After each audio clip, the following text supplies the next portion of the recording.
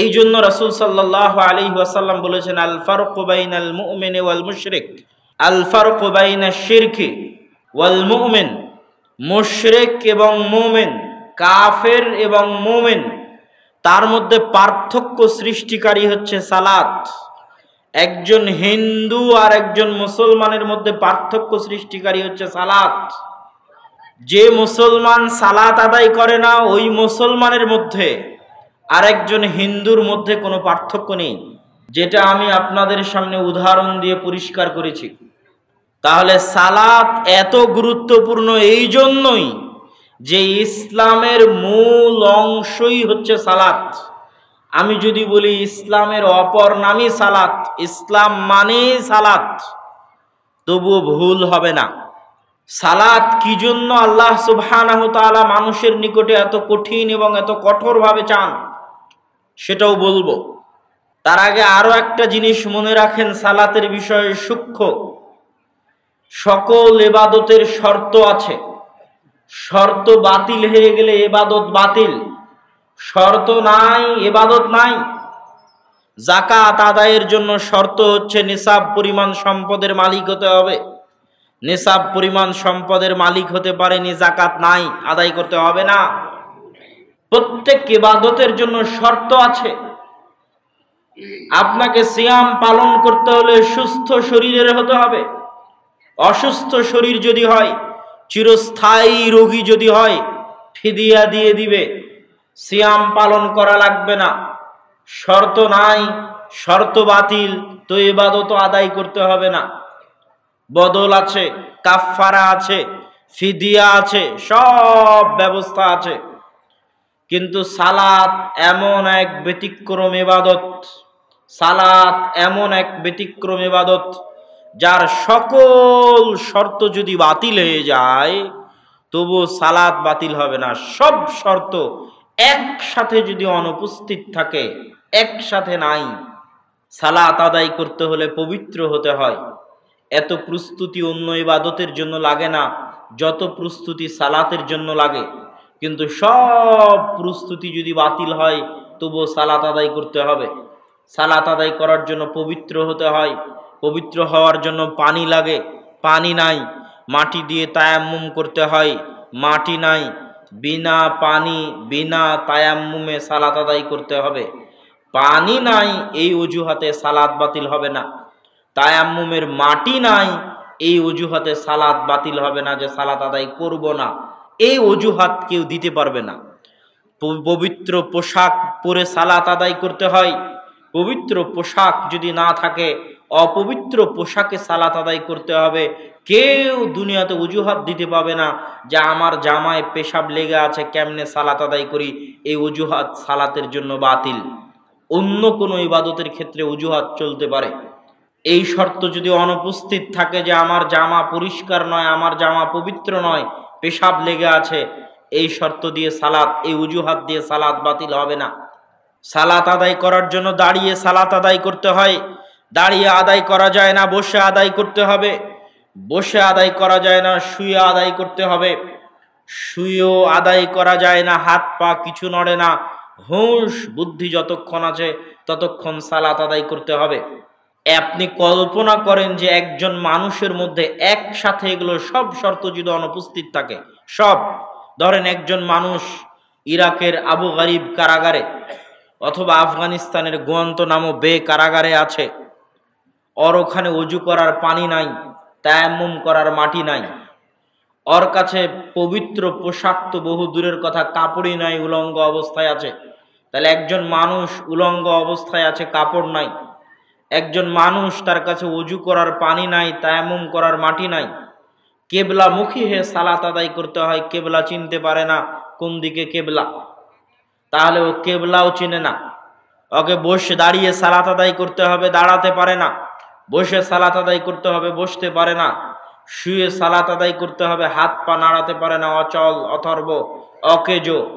অত্যাচারের কারণে অচল, অথর্ব, অকেজ হয়ে গেছে। সালাত আদায় করতে হলে সুরা ফাতেহা জানতে হয়, কোরআন জানতে হয় ওর কোরআনও জানা নাই, সুরা ফাতেহাও জানা নাই এই অজুহাতে সালাত বাতিল হবে না যে আমার তো সুরা ফাতেহা জানা নাই, কেমনে সালাত আদায় করব।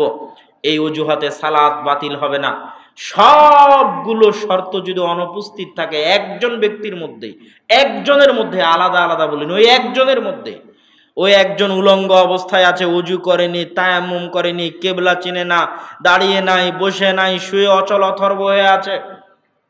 বড় ফরজ গোসলের উপর আছে, সামান্য ছোট অপবিত্রতার কথা বলিনি।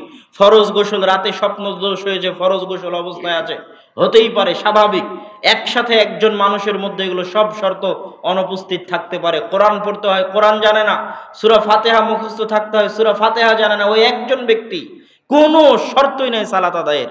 তবুও কেউ বলতে পারবে না যে ওর সালাত মৌকুফ হয়ে গেছে।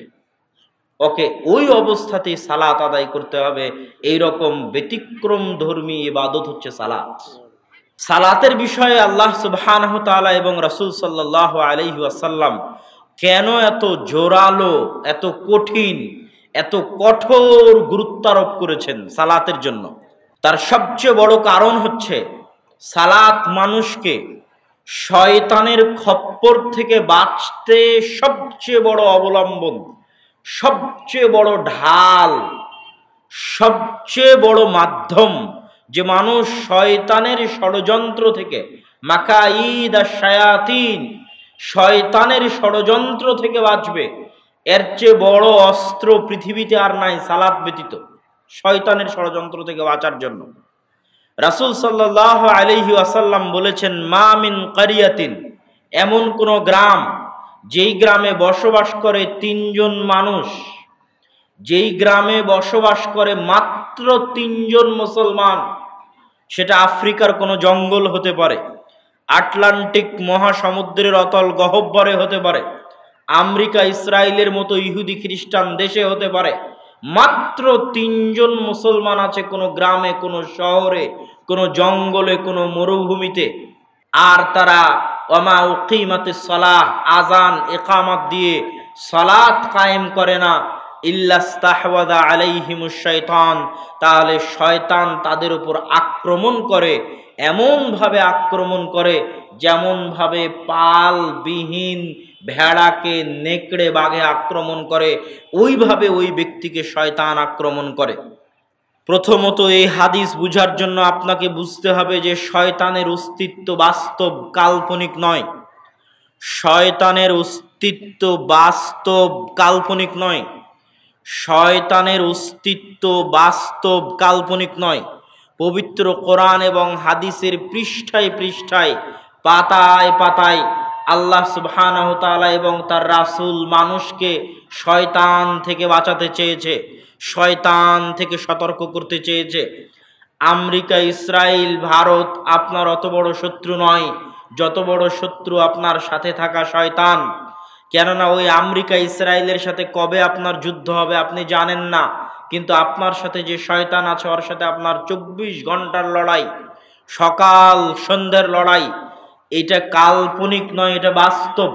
আল্লাহ তাআলা পবিত্র কোরআনে শয়তানের কথা আর রাসূল সাল্লাহ আলাইহাসাল্লাম হাদিসে শয়তানের কথা এত বেশি পরিমাণে বলেছে যে শয়তানের ওপর যদি আপনি বিশ্বাস না আনতে পারেন, যে শয়তান বাস্তবে আছে, আপনি হেদায়েতের রাস্তা খুঁজে পাবেন না, বরং আপনি ধোকা খেতেই থাকবেন, ধোকা খেতেই থাকবেন।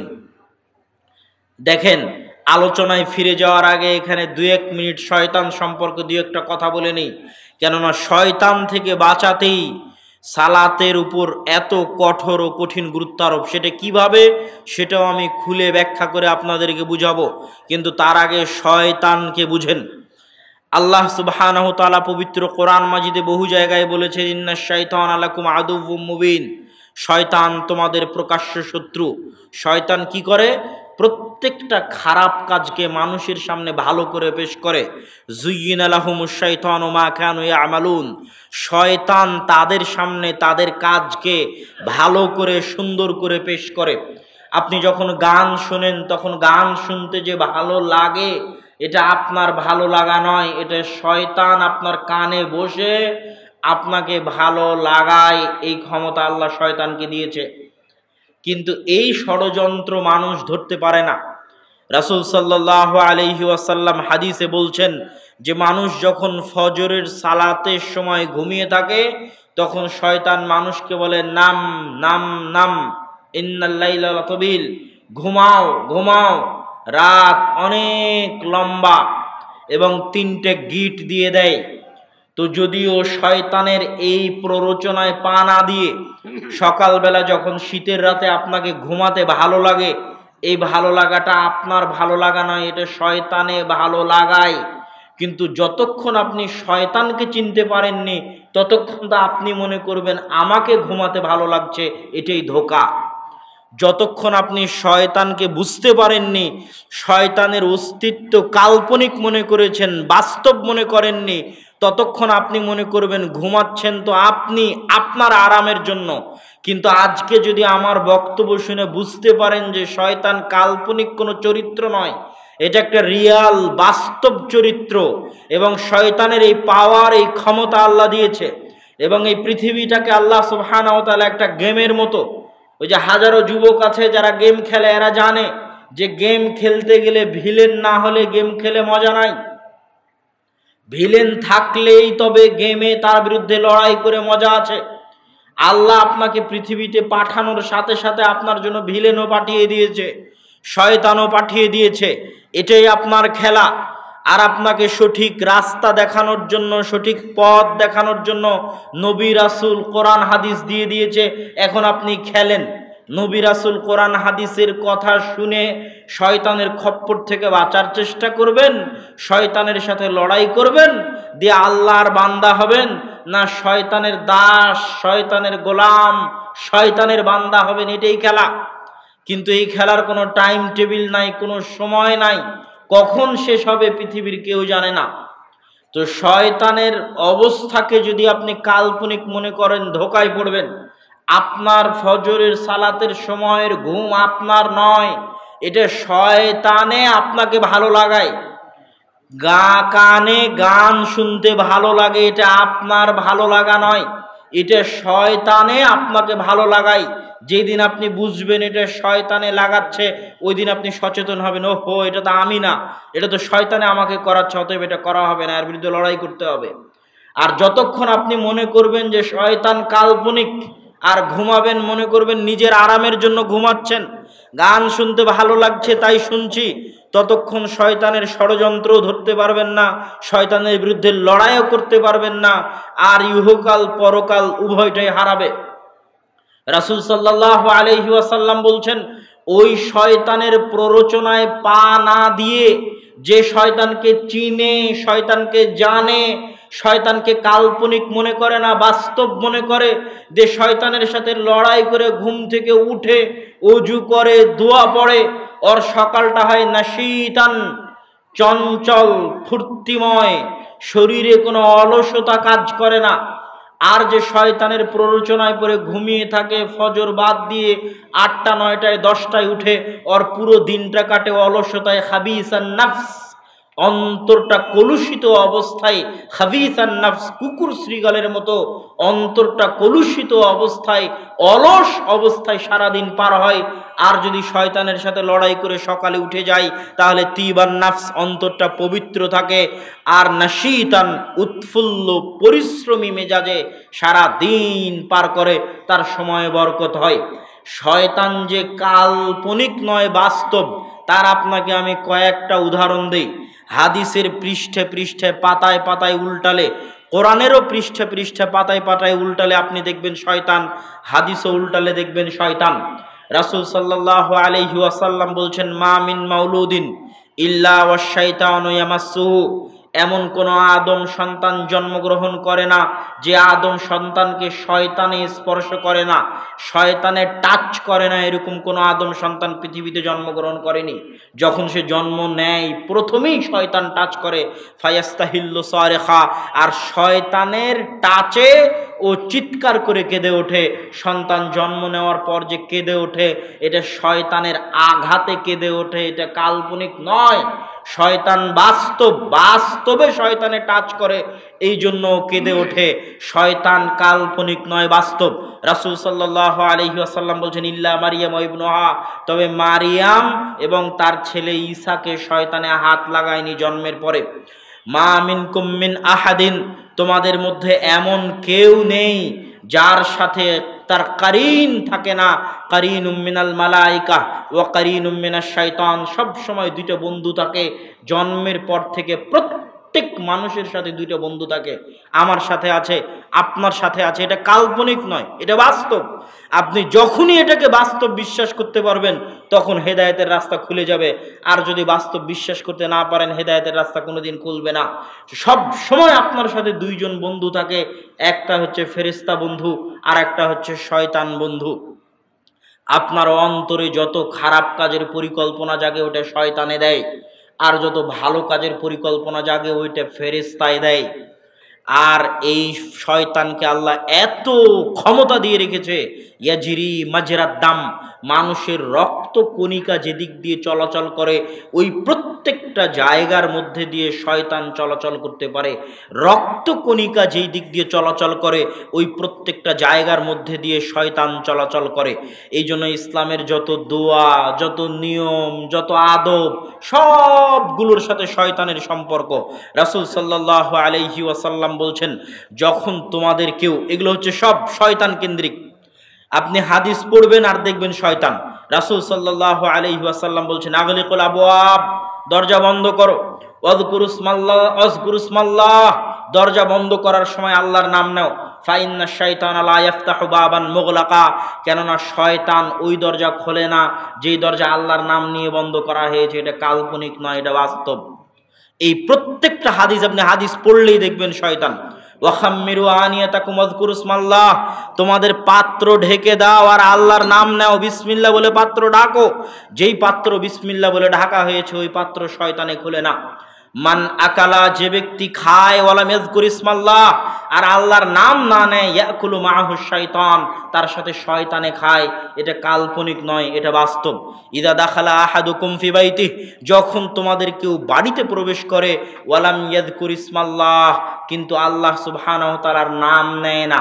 আল্লাহর নাম মানে আসসালাম, এটা হচ্ছে আল্লাহর নাম। সালাম মানে শান্তি শান্তি আল্লাহর নাম।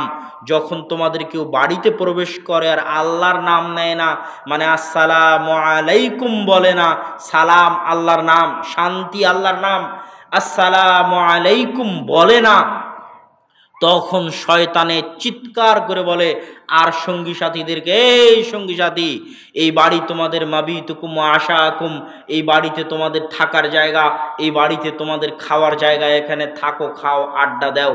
আর যদি ঢুকার সময় বলে, আসসালাম আলাইকুম, তাহলে শয়তান তার সঙ্গী সাথীকে বলে, এই বাড়িতে তোমাদের থাকারও ব্যবস্থা নাই, এই বাড়িতে তোমাদের খাওয়ারও ব্যবস্থা নাই। এই হাদিস কাল্পনিক নয়, বাস্তব। আসলেই যদি আপনি সালাম দিয়ে বাড়িতে প্রবেশ করেন, তাহলে শয়তান বাড়িতে থাকতে পায় না। শয়তান আছে, আপনার সাথে সব সময় চব্বিশ ঘণ্টা আছে। এতক্ষণ আমি শুধু শয়তানেরই হাদিস পড়ছি। শয়তানের সাথে লড়াই করতে শিখাই, সেরাতে মুস্তাকিমের রাস্তা পেয়ে যাওয়া। আর যে শয়তানকে চিনতে পারল না, বুঝতে পারল না, বিশ্বাস করতে পারল না, অনুভব করতে পারল না, শয়তানকে প্রকৃতভাবে বিশ্বাস করতে পারল না, অনুভব করতে পারল না, ও খারাপ কাজ করবে আর মনে করবে, আমার আনন্দের জন্য করছি। খারাপ কাজ করবে আর মনে করবে, আমার মজার জন্য করছি। কিন্তু অর শত্রু ভিলেন, ওই যে আল্লাহ তৈরি করে দিয়েছে এই বিলিস আর তার বাহিনী, ও যে ওকে প্ররোচনা দিয়ে, ওয়াসওয়াসা দিয়ে করাচ্ছে, এটার মাথায় জীবনেও কাজ করবে না। এই জন্য শয়তান সম্পর্কে আমাদের জ্ঞান থাকতেই হবে। সম্মানিত উপস্থিতি, রাসুল সাল্লাহ আলহি আসাল্লাম শয়তান সম্পর্কে বলতে গিয়ে বলছেন, যখন তোমাদের ইদা তাইমা আহাদুকুম, যখন তোমাদের কেউ খায়, ফাসাকাতাত লোকমাতান, আর তার হাত থেকে কোনো লোকমা পড়ে যায়, মিয়াদি ফাসাকাতাত লোকমাতুন মিন ইয়াদি, তার হাত থেকে কোনো লোকমা, কোনো দানা, খাদ্যের দানা পড়ে যায়। ফাল ইউমিত মা রাবাহ মিনহা, সে যেন ওই দানা উঠিয়ে, দানার সাথে লেগে থাকা ময়লা ধুয়ে ফেলে, সেটা আবার খেয়ে নেয়।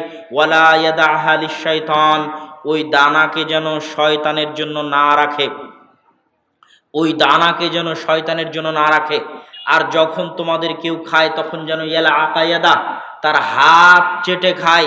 এই জন্য যে সে জানে না যে তার কোন দানাতে বরকত আছে, এটাকে যেন সে শয়তানের জন্য না রাখে। কোন দানায় বরকত আছে, এটা সে জানে না। কি জন্য ফাইন্না শাইতানা ইয়ারসুদুন নাস আলা কুল্লি শাইইন হাত্তা মাতামিহ শয়তান ওত পেতে থাকে মানুষের প্রত্যেকটা পদক্ষেপে। ইয়ারসুদুন নাস, আল্লাহ রাসূল বলছেন, শয়তান ওত পেতে থাকে মানুষের প্রত্যেকটা পদক্ষেপে। এমনকি মানুষের খাবারের সময়ও শয়তান ওত পেতে বসে থাকে। যদি খাবার বিসমিল্লাহ বলে খেলো কিনা ওত পেতে বসে আছে। ডান হাতে খেলো কিনা ওঁত পেতে বসে আছে। যদি তোমাদের কেউ ডান হাতে না খায়, বাম হাতে খায়, তাহলে তার সাথে শয়তান খায়। রাসুল সাল্লাহ আলহিহাসাল্লামের হাদিস, ওয়াল্লাহে আল্লাহর কসম, এগুলো একটাও কাল্পনিক কথা নয়। প্রত্যেকটা বাস্তবে শয়তান এই কাজগুলো করে। বাস্তবে শয়তান আপনার খাবার টেবিলে বসে আছে, আপনার কার্যক্রম ওত পেতে বসে সে পর্যবেক্ষণ করছে এবং দেখছে এবং যেখানেও সুযোগ পাবে, ওখানেও আপনার উপর হামলা করবে। যেখানে ও সুযোগ পাবে, ওখানেও আপনার উপর হামলা করবে, এটাই তার কাজ। রাসুল সাল্লাহ আলহিহাসাল্লাম বলছেন, যখন তোমাদের কেউ বাড়ি থেকে বের হয় সে যদি বলে, বিসমিল্লাহ তাবাক্কাল তো আল্লাহ লা হাওলা ওয়ালা কুওয়াতা ইল্লা বিল্লাহ, এই দোয়া যদি পড়ে তাহলে ও শয়তানের খপ্পর থেকে বেঁচে গেল, শয়তান তার থেকে দূরে সরে যায়। আর ও যদি এই দোয়া না পড়ে, তাহলে শয়তান তার সাথে থাকে। এরকম শয়তানের হাদিস যদি আমি পড়তে থাকি, অসংখ্য অগণিত শয়তানের হাদিস। ওই বাড়িতে ফেরেস্তা প্রবেশ করে না। যে বাড়িতে ছবি থাকে, কুকুর থাকে, ওই বাড়িতে শয়তান থাকে। যেই বাড়িতে ছবি থাকে, কুকুর থাকে। এগুলো সব হচ্ছে বাস্তব হাদিস। এগুলো একটাও কাল্পনিক নয়। আর শয়তান মানুষের চিরন্তন শত্রু। কেউ যদি বাথরুমে প্রবেশ করে আর বলে, আল্লাহ মিনাল খাবাইস তাহলে শয়তানের চোখ বন্ধ হয়ে যায়। বিসমিল্লা বলে শয়তান, বললে শয়তান কিছুই দেখতে পায় না। এগুলো সব বাস্তব হাদিস। এই কোরআনের পাতা পাতা উল্টাবেন। দেখবেন আল্লাহ সুবহানাহু শয়তানের কথা বলছে, হাদিসের পৃষ্ঠা পৃষ্ঠা উল্টাবেন। দেখবেন রাসূল সাল্লাল্লাহু আলাইহি ওয়াসাল্লাম শয়তানের কথা বলছে, কোরআনের মধ্যে আল্লাহ সুবহানাহু শয়তানের শপথ নকল করেছেন। ফাবিমা আগওয়াইতানি লাকাল মুস্তাকিম মিন বাইনি শয়তান শপথ করে বলছে যে আমি আদম সন্তানকে সেরাতে মুস্তাকিম থেকে পথ ভ্রষ্ট করার জন্য চেষ্টা করব তার সামনে থেকে, চেষ্টা করব তার পিছন থেকে, চেষ্টা করব তার ডান দিক থেকে, চেষ্টা করব তার বাম দিক থেকে। তার মানে আপনি চারিদিক দিয়ে শয়তানের ঘেরা টোপে আক্রান্ত হয়ে আছেন। শয়তান আপনাকে চার দিক থেকে ঘিরে আছে। এই শয়তানের খপ্পর থেকে বাঁচার সবচেয়ে বড় মাধ্যম হচ্ছে সালাদ যে হাদিসটা শয়তানের আলোচনার শুরুতে বলেছি যে রাসুল সাল্লাহ আলী আসাল্লাম বলেছেন, তিনজন মানুষও যদি থাকে আর যদি সালাত আজান একামত দিয়ে কায়েম না করে, তাহলে তারা শয়তানের খপ্পরে পড়বেই পড়বে। কেন আপনি সালাদ দিয়ে শয়তান থেকে বাঁচতে পারবেন? সালাদ কি এমন উপকার করবে যে আপনি শয়তান থেকে বাঁচতে পারবেন? আল্লাহ সুবহানাহু তাআলা পবিত্র কোরআন মাজিদে বলছে ইন্না সালাতা তানহা আনিল সালাত মানুষকে অন্যায়, অনাচারের কাজ থেকে দূরে রাখে। এখন আপনি দেখছেন যে কিরে ওই মানুষ তো সালাত আদায় করে, তাও তো গুনাহ করে। সালাত আদায় করে, তাও তো খারাপ কাজ করে। এর কারণ কিন্তু সালাত নয়। এর কারণ কি জানেন? এর কারণ হচ্ছে সালাত যেই উদ্দেশ্যে দেওয়া, সেটা হচ্ছে অন্তরকে কন্ট্রোল করতে পারার প্রশিক্ষণের প্রথম ধাপ হচ্ছে সালাত। পৃথিবীতে মানুষ যত গুনাহ করে, সব গুনাহের মূল কারণ হচ্ছে শয়তানের ওয়াসওয়াসা থেকে নিজের অন্তরকে কন্ট্রোল করতে পারে না। যত গুনাহ করে, সব গুনাহের মূল কারণ হচ্ছে শয়তানের ওয়াসওয়াসা থেকে নিজের অন্তরকে কন্ট্রোল করতে পারে না। এখন একটা কাজ করার জন্য তো আপনাকে প্রশিক্ষণ নিতে হবে। আপনি যদি অন্তরকে কন্ট্রোল করতে চান তাহলে আপনাকে কিছু করেই অন্তরকে প্রশিক্ষণ দিতে হবে কন্ট্রোল করা। আর অন্তরকে কন্ট্রোল করার সবচেয়ে বড় মাধ্যম, অন্তরকে কন্ট্রোল করার সবচেয়ে বড় মাধ্যম হচ্ছে সালাদ ওই যে রাসুল সাল্লাহ আলী সাল্লামের হাদিস, কেউ যদি টানা চল্লিশ দিন তাকবীরে তাহরিমা, তাকবীরে উলা, প্রথম তাকবীর, তাকবীরে তাহরিমার সাথে টানা চল্লিশ দিন জামাতে সালাত আদায় করে, তাহলে ও জাহান্নাম থেকে মুক্ত। আল্লাহ কিন্তু আপনি শুরু করেন দেখি পারেন কিনা, কয়দিন টিকতে পারেন? টিকতে পারবেন না, খুব কঠিন। আপনার অন্তরের জন্য সবচেয়ে বড় চ্যালেঞ্জ হচ্ছে পাঁচ অক্ত সালাতে মসজিদে উপস্থিত হওয়া। এটাই সবচেয়ে বড় চ্যালেঞ্জ আপনি দেখবেন যে নামাজি কিন্তু গুনাহ করছে, ও পাঁচ অক্ত সালাতে নিয়মিত মসজিদে উপস্থিত হয় না রে বাবা। ও নামাজ ঠুক ঠুক পড়ে, একাক্ত পড়ল, একাক্ত ছাড়লো, একাক্ত মসজিদে যায় তার একক্তে যায় না। নিয়মিত পাঁচ অক্ত সালাতে মসজিদে উপস্থিত হওয়া, এটা আপনার অন্তরের জন্য সবচেয়ে বড় চ্যালেঞ্জ আর ওই যে চল্লিশ দিন টানা আপনি পাঁচ অক্ত সালাত, তাকবিরে তাহারিমা সহ পড়লেন, এটা যেন আপনার অন্তরকে প্রশিক্ষণ দেওয়ার প্রথম ধাপ কমপ্লিট করে ফেললেন। আর আপনার অন্তরকে যখন আপনি এতখানি কাবু করতে পেরেছেন যে পাঁচ অক্ত সালাতে মসজিদে নিয়ে যেতে পারছেন অন্তরকে, তাহলে অন্য গুনাহ থেকে অন্তরকে কন্ট্রোল করার ক্ষমতা অটোমেটিক আপনার মধ্যে চলে আসবে। আমি মনে হয় বুঝাতে পারিনি আপনাদেরকে। আমি যদি বুঝাতে না পারি, তাহলে এটা আমার ব্যর্থতা। ওই যে মুসল্লি পাপে লিপ্ত আছে, পাপ করছে, ও নিয়মিত পাঁচ অক্ত সালাত মসজিদে জামাতের সাথে আদায় করে না। এই জন্য এখনও আর নামাজ ওকে গুনাহ থেকে বিরত রাখতে পারেনি। অন্তরকে প্রশিক্ষণের প্রথম ধাপ নিয়মিত পাঁচক্ত সালাত মসজিদে উপস্থিত করার মতো এই চ্যালেঞ্জ মোকাবেলা করা। আর অন্তরকে প্রশিক্ষণের শেষ ধাপ, অন্তরকে প্রশিক্ষণের শেষ ধাপ, সলাতুর রজুলিফি জৌফিল লাইল ওয়ান নাসু নিয়াম রাতের অন্ধকারে মানুষের সালাত, যখন অন্য মানুষে ঘুমন্ত। কেউ যদি তাহাজুদের সালাতের আদি হয়ে যায়, অভ্যস্ত হয়ে যায়, নিজের অন্তরকে এতটা কাবু করতে পেরেছে এতটা কন্ট্রোলে আনতে পেরেছে যে প্রতি রাতে তাহাজুদের সালাতে উপস্থিত হয়ে তাহাজুদের সালাত আদায় করতে পারে, তো ওর অন্তরকে যে এতখানি কন্ট্রোল করতে পেরেছে, ও অন্য অনেক গুনাহ থেকে বিরত থাকার মতো তার অন্তরকে কন্ট্রোল করতে পারবে। এটা অন্তর প্রশিক্ষণের শেষ ধাপ। আর প্রথম ধাপ হচ্ছে পাঁচ অক্ত সালাতে জামাতে উপস্থিত হতেই হবে। পাঁচ অক্ত সালাতে জামাতে উপস্থিত হলেন না মানে আপনার হেদায়েতের রাস্তা বন্ধ হয়ে যাচ্ছে। আপনার গুনাহের রাস্তা খুলতে থাকতেছে। এই জন্যই রাসুল সাল্লাহ আলী আসাল্লাম বলেছেন, শয়তানের খপ্পর থেকে বাঁচার প্রথম অস্ত্র হচ্ছে পাঁচ অক্ত সালাতে জামাতে উপস্থিত হওয়া। এখানে আপনাকে আরও একটা মজার জিনিস বলি সালাত সম্পর্কে, যেটা সচরাচর আমাদের দেশের নব্বই পার্সেন্ট মানুষ জানেও না, বুঝেও না, বলেও না। সেটা কি? সেটা হচ্ছে একজন মুসল্লির সালাদকে খাটো করা হয়, তার গুনাহ দিয়ে, তার পাপ দিয়ে। মুসল্লির সালাদকে খাটো করা হয়, তার গুনাহ দিয়ে, তার পাপ দিয়ে। বলে, আরে, ওর নামাজ দিয়ে কি হবে? ওর বউ তো পর্দা করে না। ওর নামাজ দিয়ে কি হবে? ও তো ঘুষ খায়। ওর নামাজ দিয়ে কি হবে? ও তো সুদ খায়। ওর নামাজ দিয়ে কি হবে? ও তো সুদি ব্যাংকে চাকরি করে। এখানে তার সালাদকে খাটো করা হচ্ছে, তার গুনাহ দিয়ে। তার সালাদকে খাটো করা হচ্ছে তার গুনাহ দিয়ে।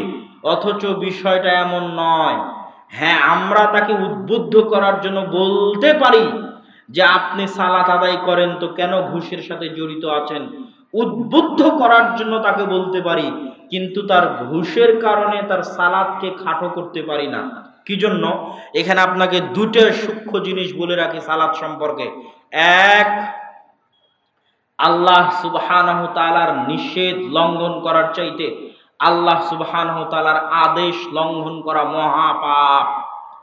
আল্লাহ তালার নিষেধাজ্ঞা অমান্য করার চাইতে আল্লাহ তালার আদেশ লঙ্ঘন করা বড় পাপ। ইবনুল কাইম রাহেমাহুল্লাহ বইয়ের মধ্যে লিখেছেন যে আল্লাহ তাআলার আদেশ আল্লাহ সুবহানাহু তাআলার নিষেধ অমান্য করার চাইতে আল্লাহর আদেশ লঙ্ঘন করা বড় পাপ। আল্লাহর নিষেধ কি? আল্লাহ সুবহানাহু তাআলা বলেছেন, সুদ খাওয়া হারাম রিবা। আল্লাহর আদেশ কি? আকিমুস সালাত সালাত কায়েম করো। সুদ খাওয়ার গুনাহের চাইতে সালাদ ছেড়ে দেওয়ার গুনাহ বড়, মহাপাপ। আল্লাহর আদেশ হচ্ছে, আল্লাহর নিষেধ হচ্ছে, ঘুষ খাওয়া হারাম। আল্লাহ সুবহানাহু তাআলার আদেশ হচ্ছে, সালাত আদায় করো। ঘুষ খাওয়ার গুনাহের চাইতে সালাত ছেড়ে দেওয়ার গুনাহ বড় মহাপাপ। আল্লাহ সুবহানাহু তাআলার নিষেধ হচ্ছে, আল্লাহ সুবহানাহু খামর, মাদক দ্রব্যকে হারাম করেছেন। আল্লাহর আদেশ, আকিমুস সালাত সালাত কায়েম করো। মদ খাওয়ার গুনাহের চাইতে সলাদ ছেড়ে দেওয়ার গুনাহ মহাপাপ, বড় পাপ। আল্লাহ সুবহানাহু তাআলার নিষেধ, বিড়ি, সিগারেট খাওয়া হারাম, নেশাদার দ্রব্য হারাম। বিড়ি, সিগারেট খাওয়ার গুনাহের চাইতে সালাদ ছেড়ে দেওয়ার গুনাহ মহাপাপ, বড় পাপ। আল্লাহ সুবহানাহু তাআলার নিষেধ হচ্ছে জেনা করা হারাম। জেনা করার গুনাহের চাইতে সালাদ ছেড়ে দেওয়ার গুনাহ, মহাপাপ, বড় পাপ আল্লাহ সুবহানাহু তাআলার নিষেধ অমান্য করার চাইতে আল্লাহর আদেশ, আল্লাহর ওয়ার্ডার আল্লাহর আদেশ, আল্লাহর ওয়ার্ডার অমান্য করা মহাপাপ, বড় পাপ। এই জন্য কেউ যদি সুদ খায়, তবুও সালাত আদায় করতে বাধ্য।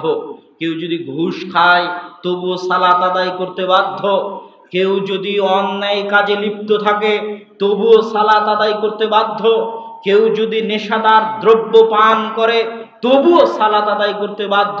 নেশাদার দ্রব্যের অজুহাতে, সুদের অজুহাতে, ঘুষের অজুহাতে, হারাম ইনকামের অজুহাতে সালাদ বাদ দিতে পাবে না।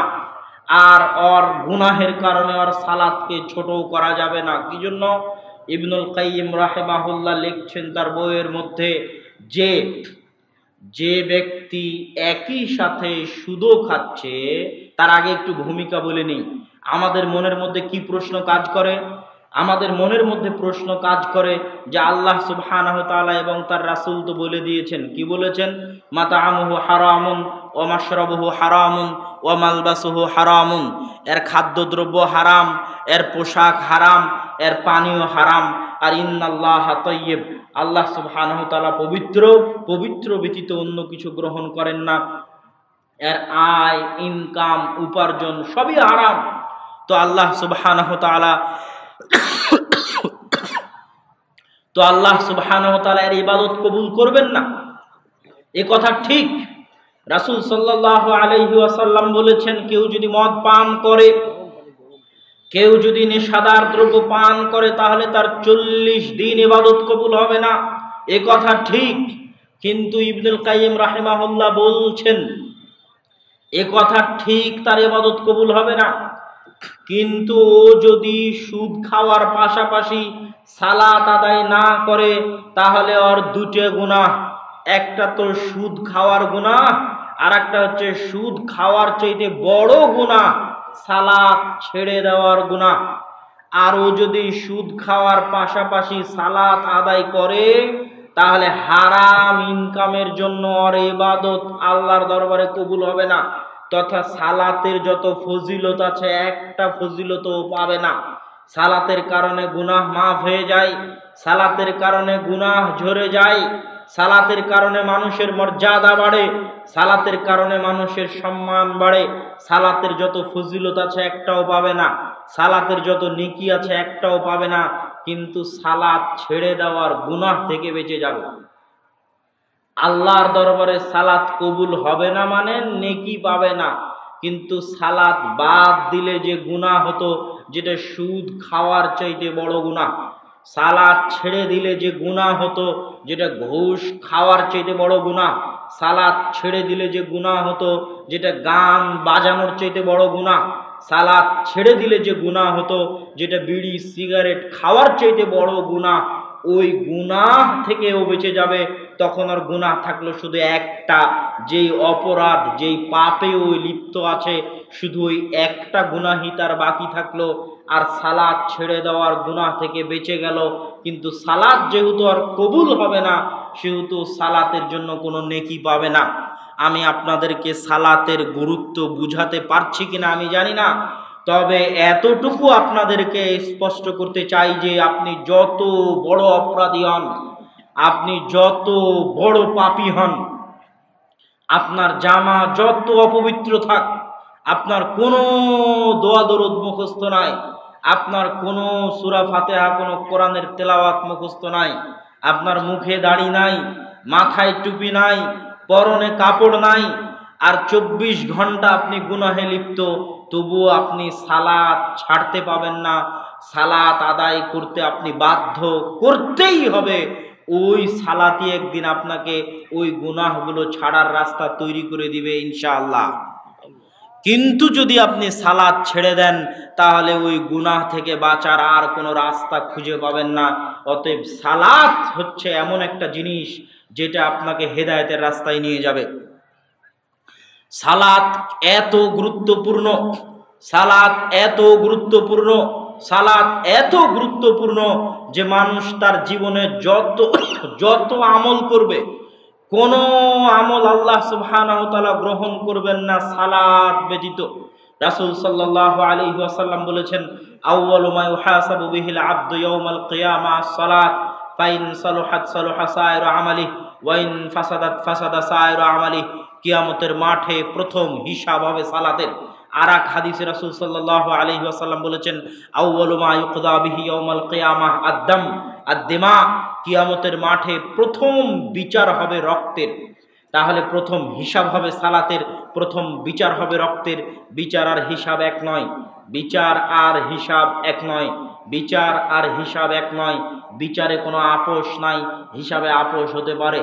বিচারে কোনো আপোষ নাই, হিসাবে আপোষ হতে পারে। বিচার মানে সারা পৃথিবীর মানুষ, জজ কোর্ট হাইকোর্ট উচ্চ আদালত বিচার, সালিশ, পাড়া, গ্রাম, চেয়ারম্যান, এমপি, মেম্বার, মন্ত্রী, কোথাও তার ন্যায় বিচার পায়নি।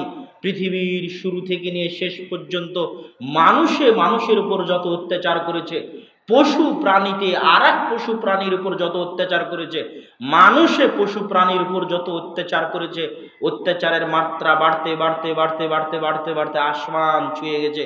কিয়ামতের মাঠে আল্লাহ সুবহানাহু তাআলা হবেন বিচারক। কোনো ওকিল, কোনো দোভাষী থাকবে না। আল্লাহ সুবহানাহু তাআলা ওই যে আসমান ছুঁয়ে গেছে অত্যাচার। আল্লাহ সুবহানাহু তাআলা বিচার শুরু করবেন, বিচারে কোনো আপোষ নাই। ওই অত্যাচারের মাত্রাকে তিনি কমাতে কমাতে কমাতে কমাতে বিচারের মাঠে শূন্য করবেন। যদি তিনি বিচারের মাঠে অত্যাচারকে শূন্য, জিরো না করতে পারেন, তাহলে তিনি আদল নন, তাহলে তিনি ন্যায় পরায়ণ নন। বলে আয়াজবিল্লাহ আর আল্লাহ ন্যায় পরায়ণ ইন্নি হারাম জুলমা আলাইয়া। আল্লাহ বলছেন, আমি আমার উপর জুলুম বা অত্যাচারকে হারাম করেছি। তিনি ন্যায় পরায়ণ তিনি নিজের উপর জুলুম বা অত্যাচারকে হারাম করেছেন, তিনি ন্যায়পরায়ণ, তিনি নিজের উপর জুলুম বা অত্যাচারকে হারাম করেছেন। এই জন্য বিচারকের, বিচারক হিসেবে যখন তিনি দায়িত্ব পালন করবেন, তখন কোনো ছাড়, কোনো আপোষ নাই।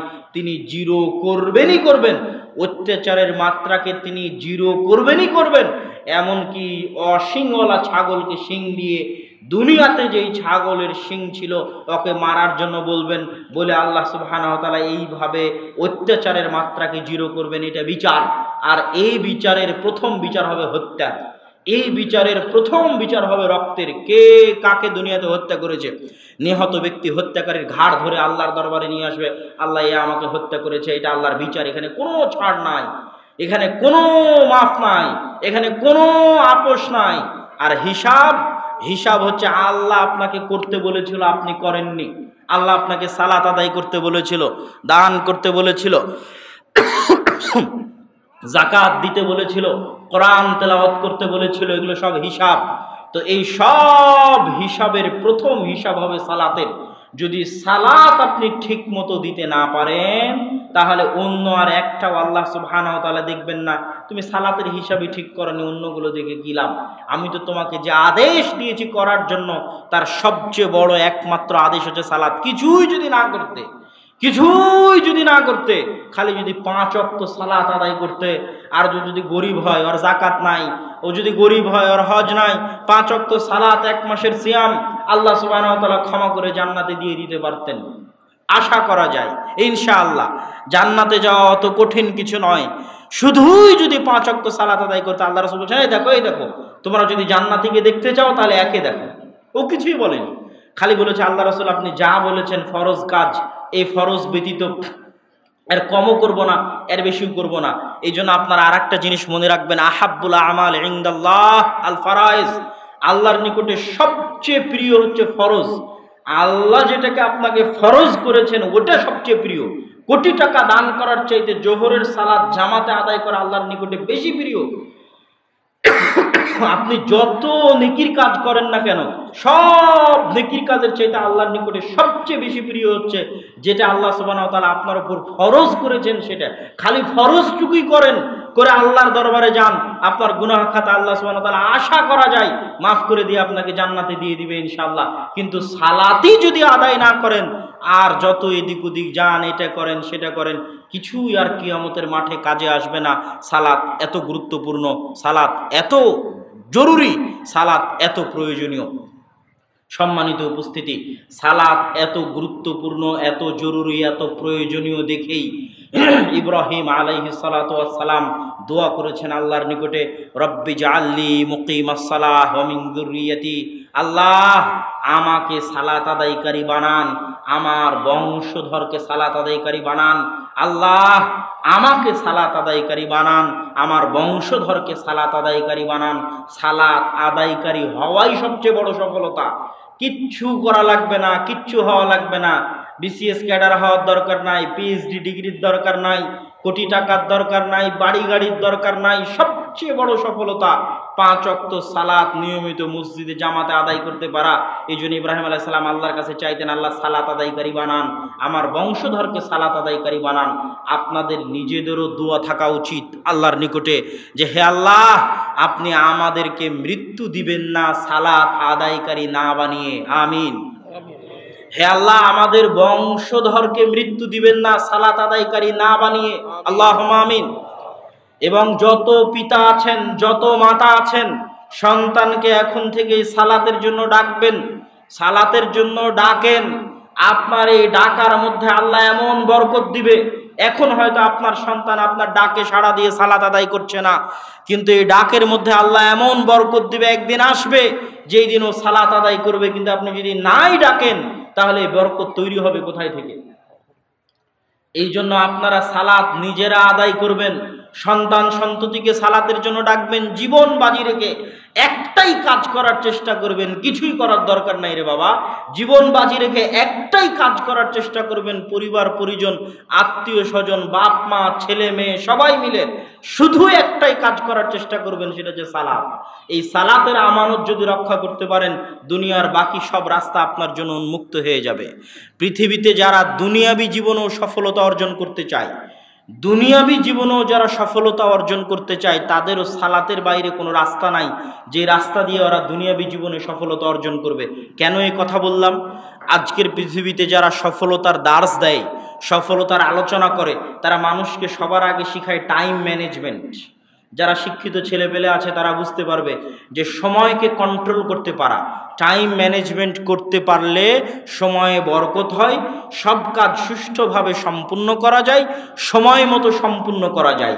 তো এই টাইম ম্যানেজমেন্টের আমার গবেষণা অনুযায়ী সালাতের চাইতে আর কোনো বড় মাধ্যম নাই যেটা দিয়ে মানুষ তার সময়কে কন্ট্রোল করতে পারে। আপনি যদি দেখবেন যে পাঁচ অক্ত সালাতবিহীন একটা দিন আর পাঁচ অক্ত সালাতওয়ালা একটা দিন। যেই দিনটা আপনার পাঁচ অক্ত বিহীন পার হয়ে গেছে, ওই দিনে দেখবেন কোনো কাজই হয়নি। দেখবেন যে আপনার কাজই তো শুরু করেছেন আপনি দশটার সময়। দশটার সময় কাজ শুরু করতে করতেই তো দুপুরের খাবারের সময় হয়ে গেছে। দুপুরের খাবারের সময় হয়ে কাজ শুরু করতে না করতে লেবার মিস্ত্রি এখন বলছে, চলে যাব। সময়ে বরকত পাবেন না। আর ওই যে ফজরের সালাদে যদি উঠেন, ফজর থেকে জোহর পর্যন্ত, মেলা লম্বা সময় ফজরের সালাতে উঠে কাজ শুরু করবেন, দেখবেন দশটার মধ্যে কাজ শেষ হয়ে গেছে, আর কি কাজ করবেন, কাজ খুঁজে পাবেন না। এটা সালাতের বরকত। আবার যখন জোহরের সময় আসবে, তখন সালাত বলবে, আপনাকে সালাত বলবে, এই তুমি জোহরের পর কি করবা? এখনই ভাবো। এটা হচ্ছে আপনাকে সালাত, আপনাকে রিমাইন্ড করছে। আর আপনি যদি ওই ক্রাম বোর্ড খেলতে থাকছেন, জুয়া খেলতে থাকছেন, কখন জোহর থেকে আসর হয়ে গেছে, আসর থেকে মাগরিব হয়ে গেছে, মাগরিব থেকে ইশা হয়ে গেছে, দিন পার হয়ে গেছে, আপনি বুঝতে পারেননি। ওই দেখা যাচ্ছে মোবাইল নিয়ে বসে আছে ফেসবুক নিয়ে বসে আছে ভিডিও গেম নিয়ে বসে আছে সিরিয়াল নিয়ে বসে আছে মুভি নিয়ে বসে আছে, কখন জোহর হয়েছে, আসর হয়েছে, মাগরিব হয়েছে ঈশা হয়েছে, বুঝতে পারেনি ওর দিন কীভাবে পার হয়ে গেছে, বুঝতে পারেনি আর ও যদি ওই খারাপ কাজটা করা অবস্থাতেও যদি সালাত আদায় করতো, তাহলে জোহরের সালাতের সময় জোহরের সালাত ওকে একবার রিমাইন্ড দিত। এরপরে কি করব? আবার আসরের সময় ওকে আর একবার রিমাইন্ড দিত, আর এরপরে কি করবি? আবার মাগরীবের সময় আর একবার রিমাইন্ড দিত, এরপরে কি করবি? এসার সময় আরেকবার রিমাইন্ড দিতে, এরপরে কি করবি? তাহলে যত কাজেই ব্যস্ত থাক, প্রত্যেক ব্যস্ততার মাঝে একটা করে ছোট্ট বিরতি আছে, যেই বিরতিতে ও নতুন করে ভাবার সুযোগ পাচ্ছে, দিনটাকে কাজে লাগানোর সুযোগ পাচ্ছে। এটা যে টাইম ম্যানেজমেন্টের যত মূলনীতি আছে, সব মূলনীতিতে সালাতের চাইতে বড় কোনো মাধ্যম নাই। যেটা একজন ব্যবসায়ী, যেটা একজন কৃষক, যেটা একজন ছাত্র, যেটা একজন শিক্ষক, যেটা একজন দোকানদার, যে যে পর্যায়ে আছে সকলের বরকতের রাস্তা, দুনিয়াবি সফলতার রাস্তা উন্মুক্ত করে দিবে, এরকম কোনো মাধ্যম সালাতের বাইরে নাই। আর মানুষ আজকের যুগে আত্মহত্যা করে, মানসিক প্রশান্তি খুঁজতে যায়, মানসিক প্রশান্তি খুঁজতে গিয়ে যোগা করে, ধ্যান করে, উমুক তুমুক কত রাস্তা অবলম্বন করে। সালাত হচ্ছে মানুষের মানসিক প্রশান্তির সবচেয়ে বড় মাধ্যম। দেখেন, মানসিক প্রশান্তির দুইটা মাধ্যম। এক নাম্বার হচ্ছে, আলা বিদিক্রিল্লাহ তাতমাইনুল কুলুব। আর এটার সাথে সালাতের সম্পর্ক এত ওতপ্রোত যে আমাদের দেশের মানুষও ঠিকভাবে বুঝে না যে সালাত আসলে কেন এত জরুরি করে ফরজ করা হয়েছে। এটা যে জিক্রুল্লাহর কারণে সালাত ফরজ করা হয়েছে এটা মানুষ বুঝতে পারে না। কোরআনের আয়াত দেখবেন, আল্লাহ সুবাহান বলছেন, আকিমিস আলি লিদিক্রি আকিমিস সলাতা লিদিক্রি আল্লাহ বলেছেন কোরআনে আকিমিস সলাতা লিদিক্রি আল্লাহকে স্মরণ। আল্লাহকে স্মরণ কেমন বিষয়? আল্লাহকে স্মরণ কেমন বিষয় সেটা আপনাকে একটু দুই মিনিট দেখাই। ইউনুস আলাইহি সালাম আল্লাহর নবী। আল্লাহর নবী মাছের পেটে আছেন। আল্লাহ কি জানেন না যে তার নবী মাছের পেটে? অবশ্যই জানে আল্লাহ সুবাহ যে তার নবী মাছের পেটে। তো আল্লাহ সুবাহ কি তার নবীকে ভালোবাসেন না? অবশ্যই ভালোবাসেন। আল্লাহ সুবাহানাওতালার কি তার নবীর সাথে কথা হয় না, যোগাযোগ হয় না? অবশ্যই তার সাথে কথা হয়, যোগাযোগ হয়। আল্লাহ জানেন তার নবী মাছের পেটে। আল্লাহ তার নবীকে ভালোবাসেন। আল্লাহর সাথে তার নবীর যোগাযোগ হয়, কথা হয়। তারপরও আল্লাহ বলছেন যে, ইউনুস যদি মাছের পেটে আমাকে না ডাকতো, আমাকে না স্মরণ করত, তাহলে আমার নবী হওয়ার পরও, আমি এটা জানার পরও যে ইউনুস মাছের পেটে, কিয়ামত পর্যন্ত তাকে মাছের পেট থেকে বের করতাম না।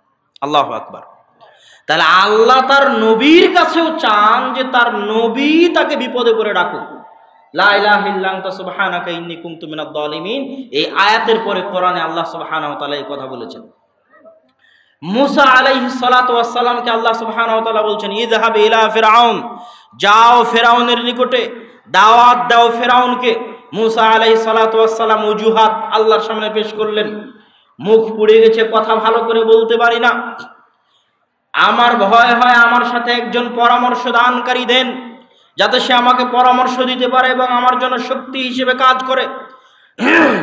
যখন মুসা আলাই সালাতাম আল্লাহকে বললেন যে আমার জিহব্বা কাজ করে না, তখন আল্লাহ চাইলে সাথে সাথেই মুসা আলাইহি সালাতামের জিহব্বা ঠিক করে দিতে পারতেন। আল্লাহ জানছেন যে মুসার জিহব্বা এতদিন থেকে পড়ে আছে। এতদিনেও আল্লাহ মুসা আলাহ সাল্লামের জিহব্বা ঠিক করে দেননি।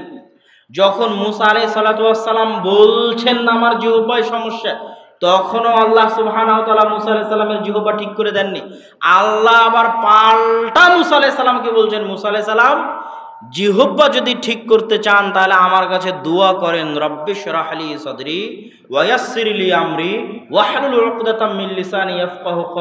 যেখানে আল্লাহর সাথে নবীর রানিং কথোপকথন হচ্ছে। আল্লাহ জানছে নবীর এই সমস্যা। আল্লাহ নবীকে দাওয়াত দেওয়ার জন্য পাঠাচ্ছে। নবীও বলছে, আমার এই সমস্যা। সেখানে আল্লাহ আবার পাল্টা নবীকে বলছে, আমার কাছে চাইতে হবে। আল্লাহ আকবার। তো নবী যখন এবার পাল্টা আল্লাহ সুবাহ তালার কাছে আল্লাহর শিখিয়ে দেওয়া দোয়া অনুযায়ী বলল, তখন এবার আল্লাহ সুবাহ নবীর জিহব্বা ঠিক করে দিলেন। তাহলে এইটা হচ্ছে আল্লাহ সুবাহ তালার দিকের আল্লাহ সুবাহ তালার স্মরণ, আল্লাহ সুবাহ তালার ডাক, আল্লাহ সুবাহ তালার আহ্বান। এটা কীভাবে মানুষের অন্তরের সাথে সম্পৃক্ত? কেন মানুষের আত্মিক প্রশান্তি আল্লাহর স্মরণে নিহত আছে? এই জন্য যে আমার এবং আপনার এই শরীর পৃথিবীতে সৃষ্টি হয়েছে, মায়ের পেটে সৃষ্টি হয়েছে, দুনিয়ার খাদ্য, দুনিয়ার রক্ত, মাংস দিয়ে তৈরি হয়েছে, কিন্তু আমাদের শরীরের ভিতরে যে আত্মা আছে, এ আত্মা দুনিয়াতে তৈরি হওয়া নয়, এ আত্মা মায়ের পেটে তৈরি হওয়া নয়, এ আত্মা রক্ত, মাংস দিয়ে তৈরি হওয়া নয়, এ আত্মা আল্লাহর ফেরেস্তা আসমান থেকে চার চল্লিশের দিন নিয়ে এসে রক্ত মাংসের শরীরে ফু দিয়ে প্রবেশ করিয়েছে। এটা সে আত্মা যে আত্মা আসমান থেকে এসেছে। দুনিয়াতে তৈরি হওয়া নয়। আর এ আত্মা, সে আত্মা, যে আত্মা আল্লাহর সামনে শপথ করেছে আলাস তুমি রব্বিকুম কলবালা আমি কি তোমাদের প্রতিপালক নই? তখন আত্মা বলেছে হ্যাঁ আপনি আমাদের প্রতিপালক। এই জন্য যত অন্যায়, যত অত্যাচার, যত গুনাহ সব গুনাহকে আল্লাহ বলেছেন আত্মার উপর অত্যাচার, সব গুনাহকে। আল্লাহ ইন্নি জালাম তো নাফসি। এই দোয়ার অনুবাদ এটা নয় যে আল্লাহ আমি গুনাহ করেছি, মাফ করে দেন। এই দোয়ার অনুবাদ হচ্ছে আল্লাহ আমার আত্মার উপর অত্যাচার করেছি, আমি শয়তানের ওয়াসওয়াসায়। রব্বানা জালামনা আনফুসানা। এই আয়াতের অর্থ এটা নয় যে আল্লাহ আমি গুনাহ করেছি, আমাকে মাফ করে দেন। এই অর্থ হচ্ছে আল্লাহ আমি আমার আত্মার উপর অত্যাচার করেছি, যে আত্মা আসমান থেকে এসেছে। দুনিয়াতে সৃষ্টি হওয়া নয়, কিন্তু দুনিয়ার এই রক্ত মাংসের শরীরে আসার পর শয়তানের প্ররোচনায় পড়ে ওই আত্মার উপর অত্যাচার করেছি, এটা অত্যাচার। এই অত্যাচারিত আত্মা কাঁদে, এই অত্যাচারিত আত্মা কষ্টে থাকে, এই অত্যাচারিত আত্মা হতবিহব্বল থাকে, এই অত্যাচারিত আত্মা হতাশাগ্রস্ত থাকে, বিষাদগ্রস্ত থাকে। আপনি পাল্টা প্রশ্ন করবেন, কই? আবদুল্লাহ ভাই, আমি তো বুঝতে পারি না যে আমি তো নামাজ কালামও পড়ি না। আমি তো মদ, জুয়া, আড্ডা সব খেলি কই আমার আত্মার উপর যে অত্যাচার হচ্ছে এটা তো আমি বুঝতে পারি না। আমি আপনাকে পাল্টা বলব, আপনার আত্মার উপর যে আপনি অত্যাচার করছেন, এটা বুঝার জন্য আপনি কোনোদিন সময় দিতে পারেননি। কেন সময় দিতে পারেননি? আবার কোরআনের আয়াত থেকে সমাধান নেই। আল্লাহ তাআলা কোরআনের আয়াতে বলেছেন আল্লাহ কুমুত্তাকাসুর পারস্পরিক ধন সম্পদের প্রতিযোগিতা তোমাদেরকে ভুলিয়ে রেখেছে। কি ভুলিয়ে রাখা? আল্লাহ শব্দের অর্থ কি? ছোট বাচ্চা যখন মায়ের দুধের জন্য কাঁদে, তখন আপনি ছোট বাচ্চাকে ভুলিয়ে রাখেন, যেন মায়ের দুধ না চায়। ঝুনঝুনি দিয়ে ভুলিয়ে রাখেন, মোবাইল বাজিয়ে ভুলিয়ে রাখেন, বাইরে নিয়ে গিয়ে ভুলিয়ে রাখেন। হাসি খেল তামাশার মাধ্যমে ভুলিয়ে রাখেন। ওই যে ছোট বাচ্চাকে আপনি খেলনা দিয়ে, মোবাইল দিয়ে, ঝুনঝুনি দিয়ে কোনো একটা কিছু থেকে ভুলিয়ে রাখতেছেন, দুনিয়ার চাকচিক্য, দুনিয়ার মোহ, আপনাকে ওইভাবে ভুলিয়ে রেখেছে আপনার মৃত্যু থেকে, আপনাকে ওইভাবে ভুলিয়ে রেখেছে আপনার কবর থেকে, আপনাকে ওইভাবে ভুলিয়ে রেখেছে আপনার মৃত্যু থেকে, ওই যুবক তো রাত্রে ঘুমাতে ঘুমাতে মোবাইল চালিয়েছে। ঘুম থেকে উঠে আবার মোবাইলে হাত দিয়েছে। তাহলে ও কখন তার আত্মাকে সুযোগ দিল, এটা বুঝার জন্য যে ও তার আত্মার উপর অত্যাচার করছে। ওকে তো সুরতুমুল মাকাবির। ওর মোবাইল ওকে ভুলিয়ে রেখেছে যে ও একদিন মারা যেতে পারে। ওর গান বাজনা ওকে ভুলিয়ে রেখেছে ও একদিন মারা যেতে পারে। ওর মুভি, সিনেমা, জুয়া, তাস ওকে ভুলিয়ে রেখেছে যে একদিন মারা যেতে পারে। আর মৃত্যু নিশ্চিত, এই মৃত্যু থেকে ওকে ভুলিয়ে রেখেছে। যখনই আপনাকে আমি চ্যালেঞ্জ দিয়ে বলছি, আপনি একটা সেকেন্ড আপনার আত্মাকে সময় দেন না। একটা সেকেন্ড সময় দেন নির্জন রাত্রিতে। মোবাইল বন্ধ করে দিয়ে পৃথিবীর মানুষজন, স্ত্রী, পুত্র, আত্মীয়, স্বজন, ধান, সম্পদ সব কিছু থেকে আলাদা হয়ে একটা সেকেন্ড আপনার আত্মাকে সময় দিয়ে দেখেন। আপনার চোখ দিয়ে যদি পানি না বের হয়েছে, আপনার আত্মার উপর অত্যাচার করার কারণে, আপনার মৃত্যুর স্মরণে, নিশ্চিত মৃত্যুর স্মরণে আপনার চোখ দিয়ে যদি পানি না বের হয়েছে, তাহলে আপনি মনে করবেন যে আমি আলোচনা আপনাদেরকে ভুল বুঝিয়েছি, কোরআন হাদিস আমি ভুল বুঝেছি, কোরআন হাদিস আমি সঠিকভাবে বুঝতে পারিনি, আপনি আপনার আত্মাকে সময় দেন না, আল্লাহ কুমুত্তাকাসর, আপনার মৃত্যুকে আপনি শয়তানের ধোকায় পড়ে সব সময় ভুলে থাকার চেষ্টা করেন যে আমি মারা যাব। মানুষ আপ্রাণ চেষ্টা করে এটা ভুলে থাকার যে মানুষ মারা যাবে। রাত দিন আত্মার খোরাক হচ্ছে সালাত। তো সালাতের ক্ষেত্রে আল্লাহ সুবাহ বলছে আতিমি সালাত আলী দিক্রি সালাত আদায় করবে আমাকে স্মরণ করার জন্য। কি জন্য? দিনে রাতে চব্বিশ ঘন্টায় আমি চাইতাম, মানুষ, তুমি পঞ্চাশ বার আল্লাহকে স্মরণ করো। তো পঞ্চাশ বার যদি স্মরণ না করতে পারো, অন্তত পক্ষে পাঁচবার আল্লাহকে স্মরণ করতে হবে।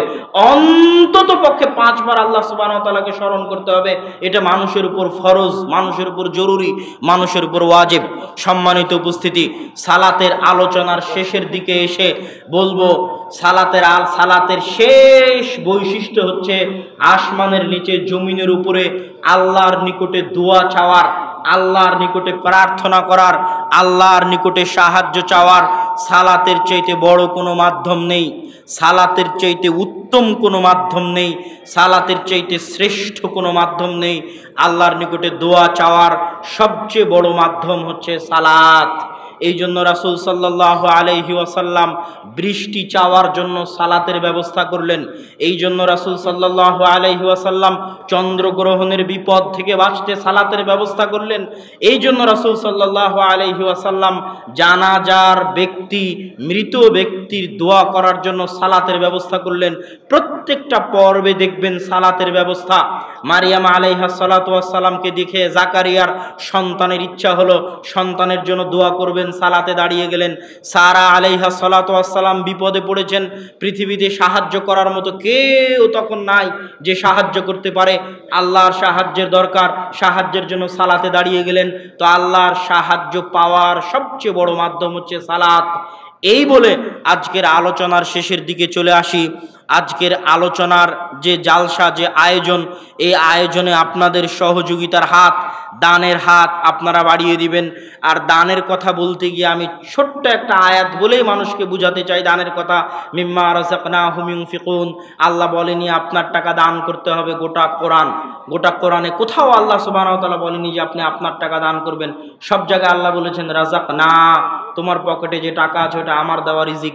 পাঁচশো বিঘা সম্পত্তির মালিক হলেও ওটা আমার দেওয়া রিজিক।